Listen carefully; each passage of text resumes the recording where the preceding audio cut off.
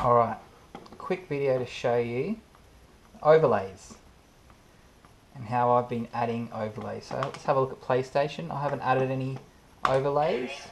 Yes. Oh. Not yet. Oh.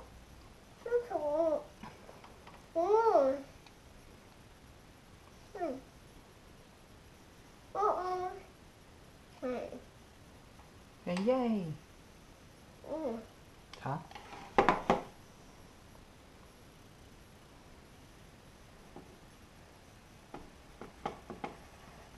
So when you see Tekken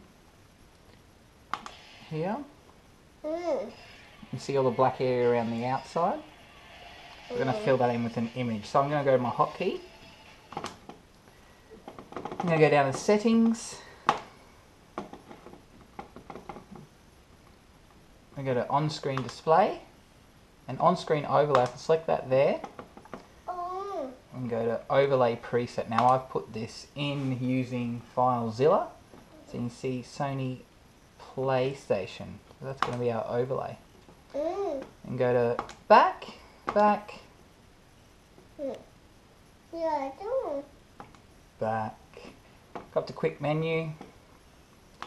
Now we're going to save this into all of our Sony games. So save core overrides. That will save it to all the games. Once that's saved, let's go up to resume. We can see now that our black area around the outside has been filled in with an image. How does that look, Albie? Yeah, I do. Yeah, it's pretty good. Want to see Daddy lose? Oh, one hand. Still losing. Oh, go two hands. Oh.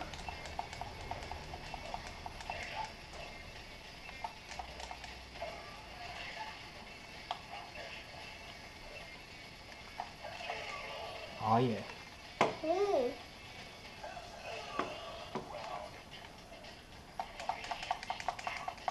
Oh.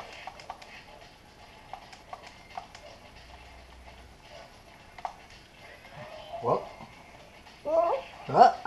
What? Oh. There we got him. Alright, so that's our overlays. So if we um, exit there, let's go to a different game. Uh. Uh, let's go to a game that I like. Actually, let's go to our random button so you can see if I press the random button. Let's go Destruction Derby. Hmm. Hmm.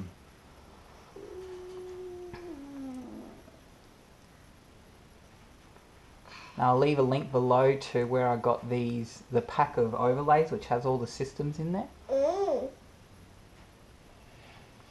You see it just fills in that, that blank area around the outside and makes it look a bit more aesthetically pleasing. Hmm.